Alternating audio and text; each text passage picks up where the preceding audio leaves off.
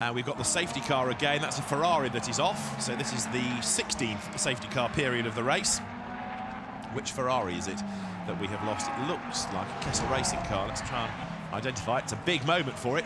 Is that a puncture or another wheel that's come off? But either way, that is a monster accident. Backwards into the tyres. The car rolls, ends the right way up. But that is a huge, huge accident at a very, very fast part of the circuit tyre barrier is destroyed and the car, having hit that, bounces upside down back onto all fours.